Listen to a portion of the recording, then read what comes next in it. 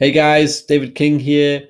Thank you for the comments on the last video. Very, very kind of you. So I thought I'd do another Flutter video. And today I want to look at infinite scrolling with a pull to refresh mechanism as well. And what do I mean by infinite scrolling? I mean that as we're scrolling through a list view and we approach the bottom, we make a request to the server for some new data, and then we add that to the list so we can continue scrolling until eventually we hit the end. So let's just have a quick look and then I'll talk about my expectations and then uh, walk through the code. So I'll, I'll just do that again, sorry. Uh, so the first thing you see is that initial loading state. Then we have our list here. And as we scroll to the bottom, we get this loading indicator. We load some more values and eventually we hit the very end, nothing more to load. And then the other part to this is the pull to refresh indicator, which makes a new request for fresh data. So the reason I wanted to look at this uh, this sort of uh, um, example in particular is all of the code that I saw either on YouTube or floating around online put a lot of that logic inside of a stateful widget. So all that code to manage, you know, making the requests, the loading state, etc., is inside of the stateful widget. And I don't think that's a fantastic separation of concerns. So what I wanted to do here was to pull that logic out, have our own separate models class, which deals with all of this. Uh, and then that leaves our main sort of widgets just to deal with rendering, which I think is a better approach. And then the other thing I wanted to do as well was uh, to actually create a stream controller ourselves so that we're not uh, we're not looking at a very specific example, such as, oh, hey, if you're using Firebase, you can get the Firebase collection stream, or if you're making an HTTP request, you can get that stream there. I think the problem with um, using streams like that is it makes them feel a bit mysterious and complicated, but they're really not. So that's the other thing that I want to look at here. So by the end of this, you should have a good understanding of First of all, how to build the UI, which is pretty easy because it's Flutter. Uh, second of all, how to pull out that uh, logic into a separate class. And then third, a little bit of a deeper understanding about streams. So let's just jump on in and we'll go through the UI part of this first, and then we'll have a look at the models, which does the logic. So the UI is pretty straightforward. I've got the main.dart, which is just a material app, which returns the home page. The homepage itself is just a scaffold containing a raise button, which then navigates to the posts page here. The posts page, again, another scaffold, which returns this posts widget. So that's a custom widget. So the post widget um, is a stateful widget. Um, and the only reason it's stateful is so that we can do some things on instantiation. So let's have a look at that. We have a scroll controller, a custom scroll controller, and this posts model, which I'm going to get to shortly, uh, containing our posts. So when this widget initializes, we're initializing that posts model. You could do this in uh, any other, many other different ways. So you could you could pass in some um, local data. So like user equals oodavid. Um, that could that could be something you might want to do here.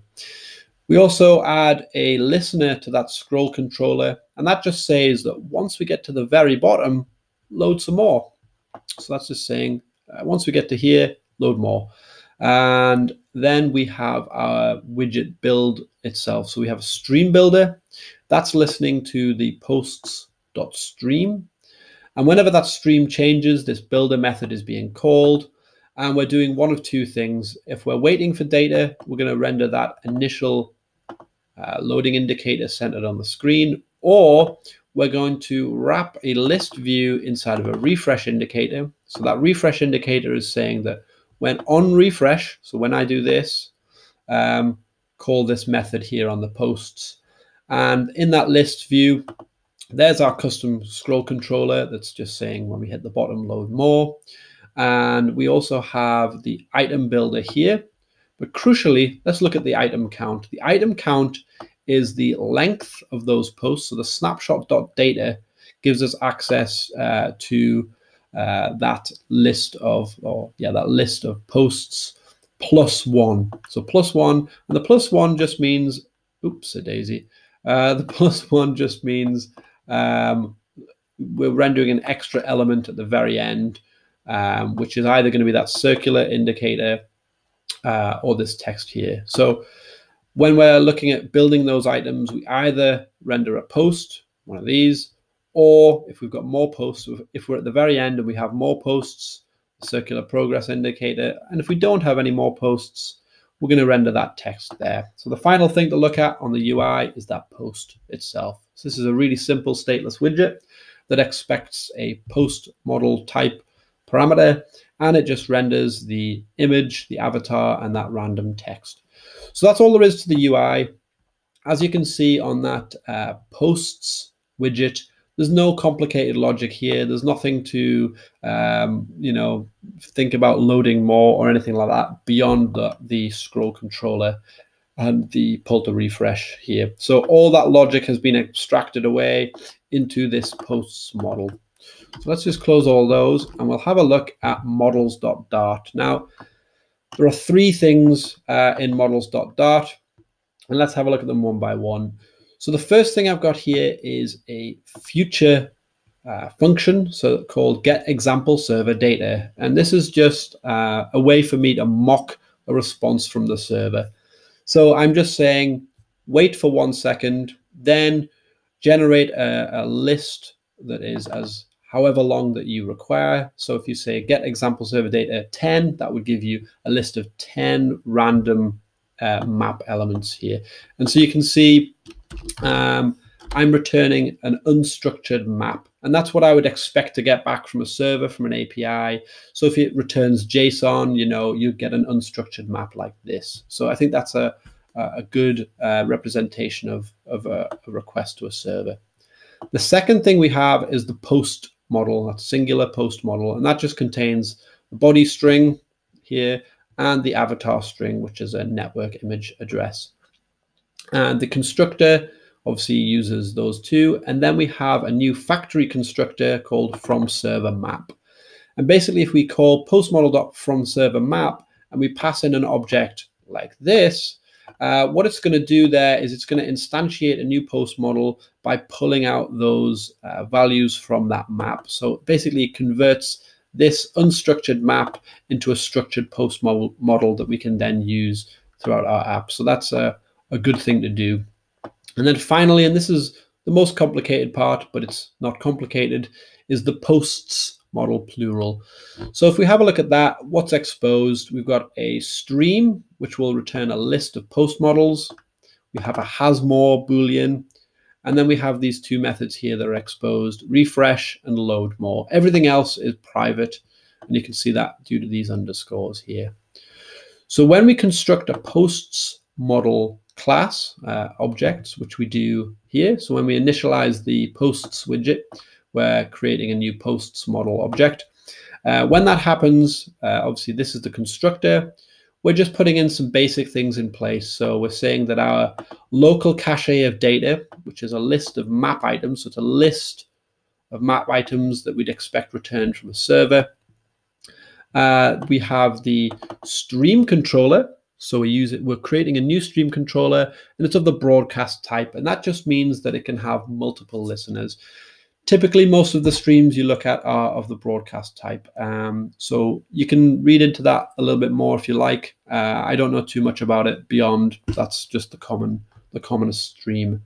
We have a private is loading flag, and then the public stream is uh, this stream controller dot stream, and then we're mapping we're mapping that stream to this method here. So basically what that means is when this uh, stream controller stream, and this stream here changes when an event is emitted, we're going to basically return a new stream, a second stream, where we're mapping over the original stream of list map items and we are converting that data into the post model.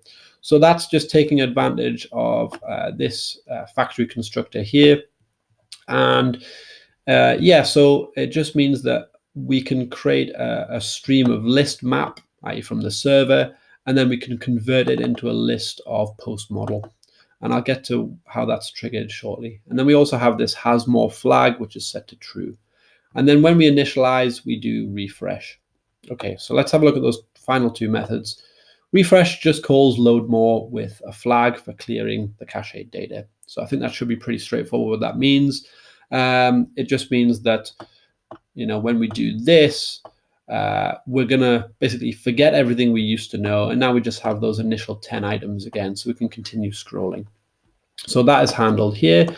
If that's set to true, we're emptying out that cache of data and we're saying, yes, there's probably more to load. Um, when we look at the next part, we're saying, if you're, if you're calling load more, but we're already loading, well, don't do anything. Or if you call load more and there's nothing more to load, don't do anything. So we're just returning early. And the reason we're using future.value is the contract of this method is to return a future void. So a future that will then return a void. So that's what this is, a, a future that immediately returns a void. So if we returned anything else here, so let's say we returned uh, null, you know, we're going to get an error uh, because um, it's expecting a, a future of void. So basically, if all these checks are passed, then we're saying that, okay, now we're loading. We're going to make a request for that data to the server. And once we have that response, so when we have that response, uh, we're going to do something with it. So we're going to add that post data to our list map here. We're going to add it to the end of that map. And then basically we're just saying uh, the has more flag, we're just going to stop at 30. The assumption is uh, there was only 30 items. In reality, this would probably be returned as a, a part of the meta response of your API request. And then crucially, we do controller.add. So .add basically triggers an event on that stream controller. So listeners receive this event. Um, and we're passing in that entire data list. so when we do control, controller.add, this listener here, so dot .map is a listener, is being called um, with this function, which then updates this stream, which is the stream of post models. So that's the um, that's the entirety of uh, of the models.dart. So let's just run through it again pretty quickly. We have a, a mock API, the post model, which we can construct with a map, and a posts model, which basically handles the stream and has two things, uh, refresh and load more. So let's just have a look at that in action again. We can have our initial load. We can load more at the bottom here until we get to the very very end. So as you can see, I've, I've loaded three times. So now I'm going to have over 30 and we can say uh, there's nothing more to load. So nothing more to load is based on this has more uh, uh, property here. So I'm going to put all the code on GitHub. And uh, if you have any questions, obviously just get in touch. Um, I'll be very happy to chat, uh, leave some comments, etc. And if you've enjoyed this, uh, please subscribe and I'll make more videos. I'm not exactly a, a YouTube pro or anything like that. I've got a job, uh, so that's why I'm doing this on my lunch break. Uh, but yeah, I'm very interested in Flutter. It's a it's a fantastic framework. Uh, to love Dart is a lovely language as well, and I'm very keen to um, basically learn the best approaches and then apply the best approaches uh, and I guess now distill it to the public as well. So uh, thank you for watching and I'll see you next time. Toodaloo.